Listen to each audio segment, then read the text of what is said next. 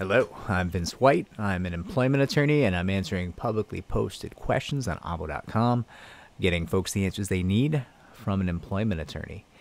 And here we are. Here's our question What can I do? I started working for a guy uh, I found a job with on Indeed.com. I worked for him for three days at $16 an hour. I decided it wasn't what I was looking for, and I had a better job offer. So I gave him my notice when I did, he started screaming and yelling, and he started threatening me, and then he threatened my family suddenly.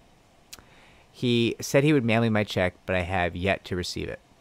Okay, so two things going on there. If you feel those threats were credible, if you feel afraid of those threats, you think he might actually follow through with them, I would recommend contacting the police, right? You can get an order of protection, you can create a police report. There's a lot of things you can do to help protect you against these threats.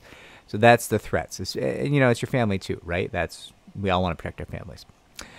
The other part is he's not paying you. How long has it been? If it's over two weeks that he hasn't paid you and the money's due, I would recommend contacting your state's Department of Labor for help getting paid.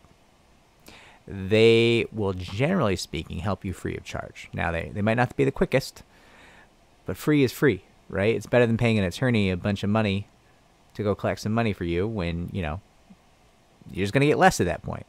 Now, listen, if you're getting if you're going after a big chunk of change, then yeah, it makes sense to hire an attorney without a doubt. It's a lot safer. It's going to go smoother. It's probably going to go quicker.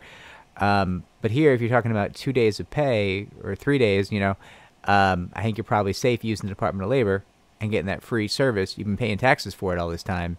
About time they earn something for it, right? About time they earn your taxes a little bit. So I hope this helps. If you have follow up questions, I'm here. I'm available. And um, if it did help, consider liking and subscribing.